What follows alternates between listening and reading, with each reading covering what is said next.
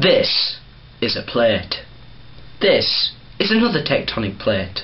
The gap in the middle is filled with water. It is also called a geosyncline. This is the bed of the Tethys Sea. As you can see, bits of silt has gathered and over time these will form into layers such as these as you can see. The silt here has built up into layers because there is much of it and it has built up into layers. Um, what happens to make a fold mountain such as this is the two plates push together and the pressure causes the layers of rock built at the bottom of the sea to rise up, as I can show you in this example.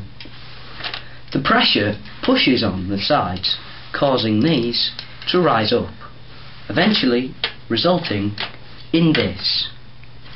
Also, because these were once filled with water, you can get mountain lakes and rivers up in fold mountains.